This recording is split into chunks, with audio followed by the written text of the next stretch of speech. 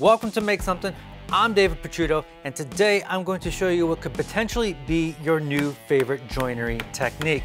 Typically, when I'm doing a butt joint like this, if I'm using plywood, I will use pocket hole screws, and if I'm using solid wood, I will use the Festool Domino. Sometimes I'll use pocket hole screws on solid wood, but usually I'll use the Festool Domino. The reason I like using the Festool Domino for this is it's really quick to set up, it's easy to use, and it's actually a pleasure to use. But the problem with the Festool Domino is it takes this special tool, which might be out of the budget for a lot of hobbyist woodworkers. The way the Festool Domino works is it creates a mortise in one piece, it creates a mortise in the other piece, and then you have this floating tenon that gets pounded into this piece, and then this piece gets pounded in there, and you have a really strong joint. So today I'm going to show you Rockler's beadlock joinery system, which also uses a floating tenon that's going to go into one piece and then into the other piece, and it's going to create a strong joint just like the Festool Domino,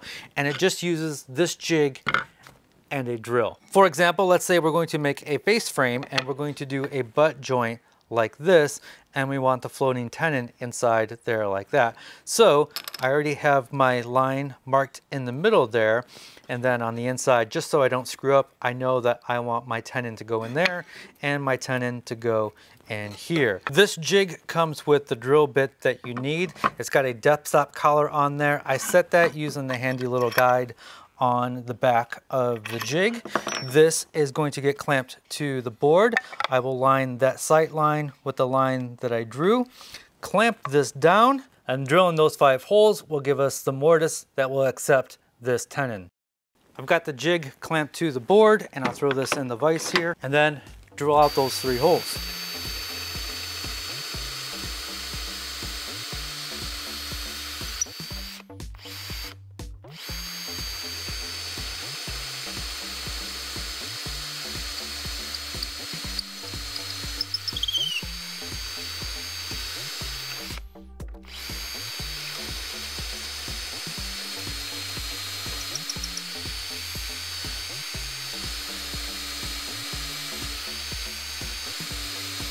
Once I drill those three holes, I can take this, move this to position B, tighten that down, and drill out the final two holes.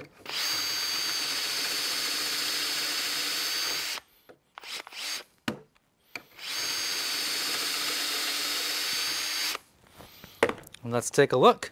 That will accept, ooh, you hear that? That's a nice tight fit. So now we got to do the same thing on this piece, except we have to go into the end grain. I'll throw this into my vise. I'll clamp that down. I'll move the jig back to position A, tighten that down, throw this on there. Again, I'm lining up that sight line with my pencil mark. And then I can take a clamp, clamp this down, and repeat.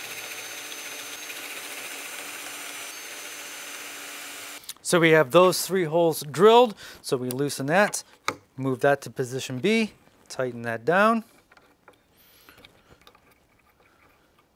and drill our final two holes. Now we can take the jig off. So we can add a little bit of glue in there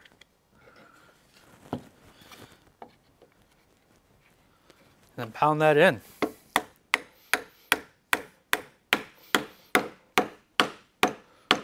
That is going to be a really strong joint. So the kit comes with a case, the jig, the insert, and the drill bit, and that will give you this size tenon. The really cool thing about this kit is if you need to make a smaller tenon or a bigger tenon, you can add on to it and the case already has room for it. So there is the half inch insert as well as the quarter inch insert and those come with the drill bits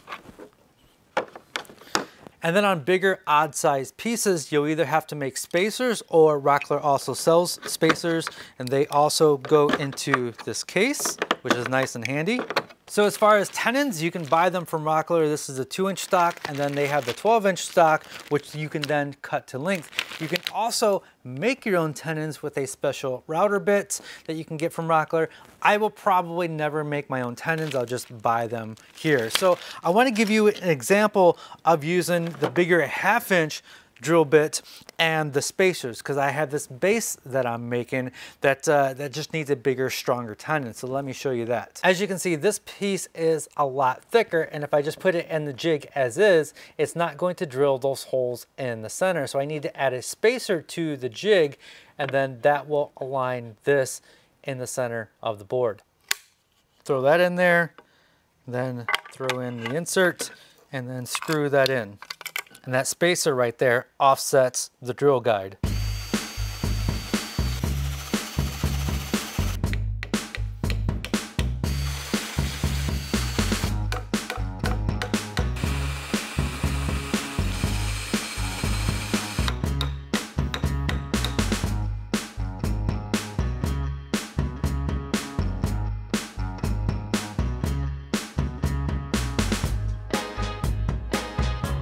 I use the larger half inch beadlock joinery tenon with the spacers to make this bed riser. If you're wondering why does a dog bed need a riser, it's because where this is going to sit, I need to be able to mop around it or if he spills his water, the bed doesn't get wet. But that's not the point of this video. What I love about woodworking is there are multiple ways to do nearly everything. If you want to work fast, there's a method for that. If you want to slow down and enjoy the process, there's a method for that. You can also work within different budgets. The point today was to just give you more options to have in your toolkit. The beadlock joinery system is just as strong as the Festool Domino but it's like one tenth of the price, maybe even more than that. It takes a little bit longer to set up than the Festool Domino, but if you're on a budget, this could be the perfect joinery technique for you. I do want to mention that I am bringing back the second channel and I just got this project car. It's a 1967 Chevrolet Impala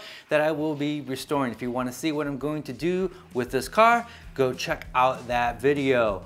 All right, folks, that is going to wrap it up. Hey, Wally, say goodbye. Hey, Wally, as always, be safe, have fun, stay passionate, and make something. You like your new bed? You do?